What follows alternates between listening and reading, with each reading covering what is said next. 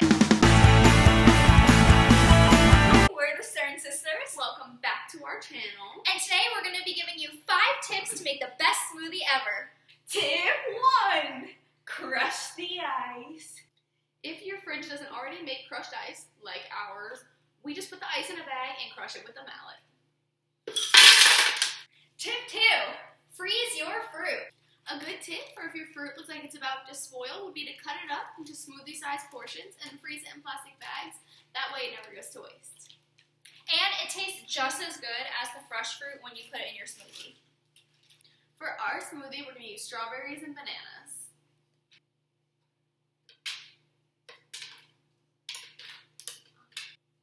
Step three, good yogurt. For our yogurt, we like to use light yogurt, and normally when it says light, that means it's being the sugar inside of it is being substituted with artificial sugar. But we get the ones that say no aspartame, which means no artificial sugar is being substituted, so it's actually healthiest and best for your body. So we decided to use vanilla yogurt for this smoothie because we like a more neutral taste. Vanilla doesn't like um, overpower any of the flavors. But you can use whatever yogurt you like, strawberry, banana, strawberry banana.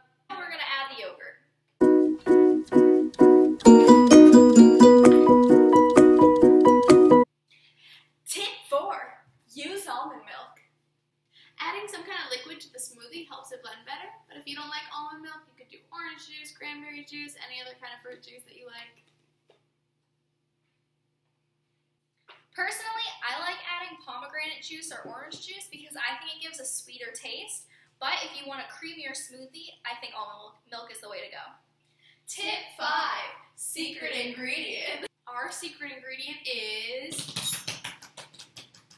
peanut butter. I normally do one heavy tablespoon for myself, but since there's three of us, we're gonna load it up.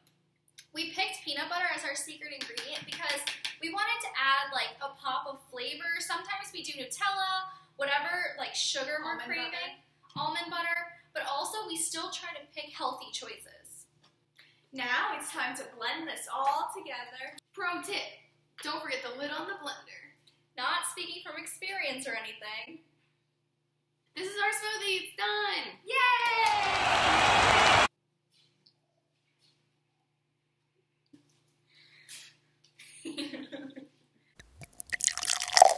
Those were our five tips on how to make the best smoothie ever. Enjoy.